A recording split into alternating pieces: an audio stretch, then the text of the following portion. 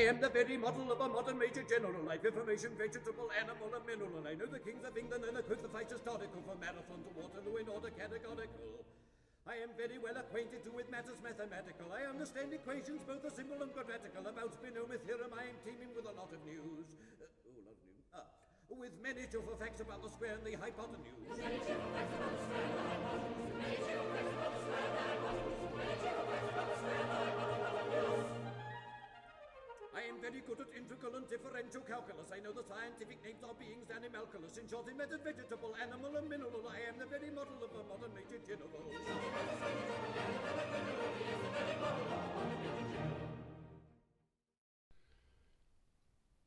Hello, I'm Rupert Soames. The first book my mother wrote, a biography of her mother, Clementine Churchill, was published in 1979, a bit too early for Chartwell booksellers. Her second book, though, The Profligate Duke, George Spencer Churchill, 5th Duke of Marlborough and his Duchess, was published in 1987 during Chartwell's first decade.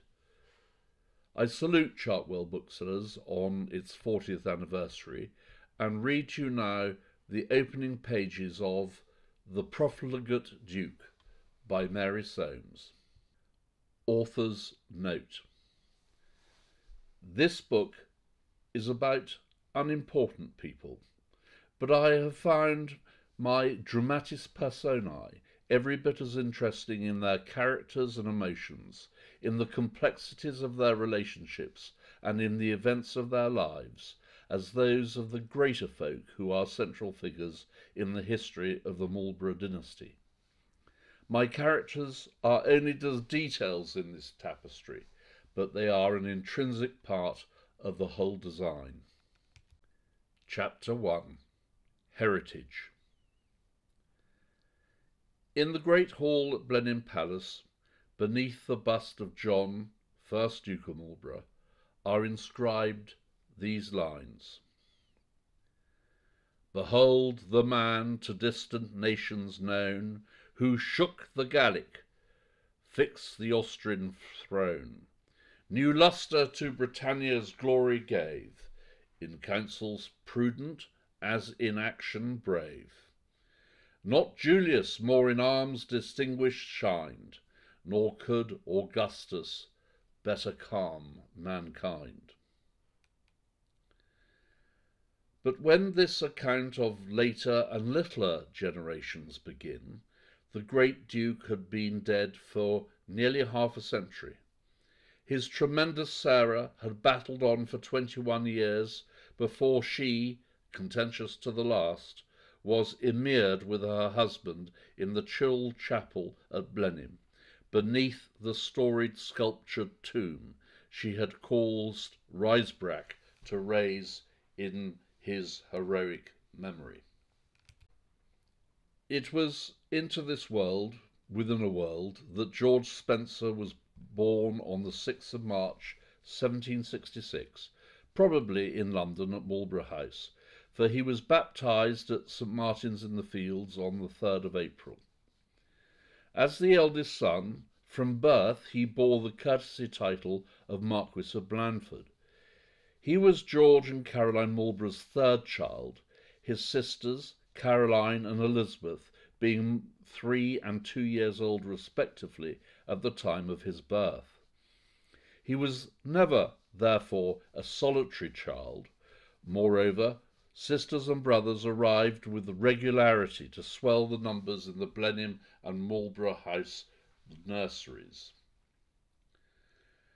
We first hear of George when he was between seven and nine years old, during which period the Reverend William Cox was his tutor.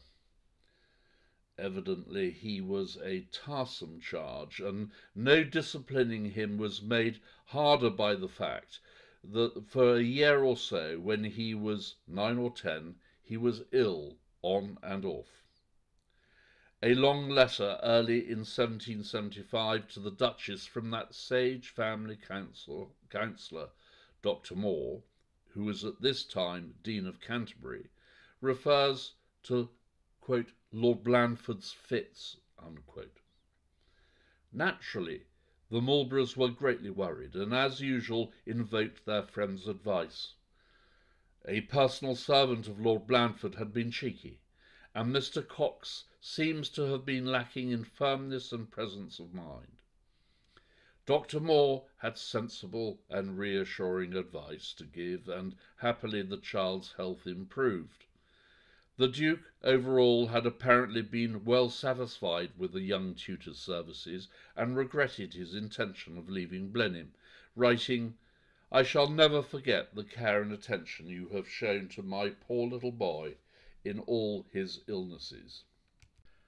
After Cox's departure, young William Mavor came up from Woodstock to teach the palace children and in 1776 Blandford left the cocoon of the schoolroom for the wider world of public school, Eton College, Windsor, where he was to remain until 1783.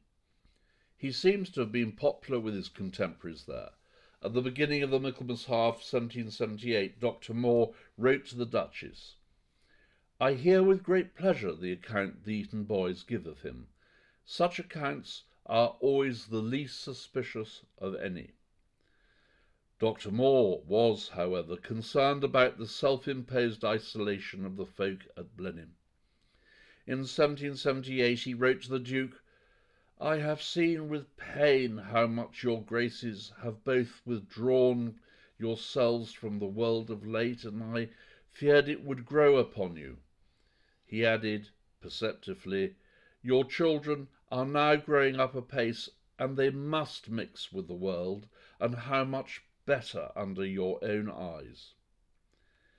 His injunctions then and later fell on deaf ears, and the enchanting group of lively children portrayed in Reynolds's great canvas were brought up not only sheltered from the rough tempests and hazards of life outside the encircling arms of family, but also without an example in their parents of the sense of public service, involvement, and noblesse oblige, which has ever been a characteristic of the British aristocracy. Blandford was seventeen when he left Eton. His parents seem to have been in a quandary about his immediate programme. We learn from Dr. Moore that a grand tour was discussed, but perhaps even then there were anxieties as to the wisdom of the giddy boy going abroad for so long a stretch. Should he do so, Dr. Moore opined, he must be conducted by a man of experience and decided character. Moore's judgment of Blandford at this time is interesting. I own, I think, he has materials in him that, well attended to, will give your graces satisfaction. It must not be forgotten that he is but seventeen, and that his duty and respect for your graces are foundations on which much may be built.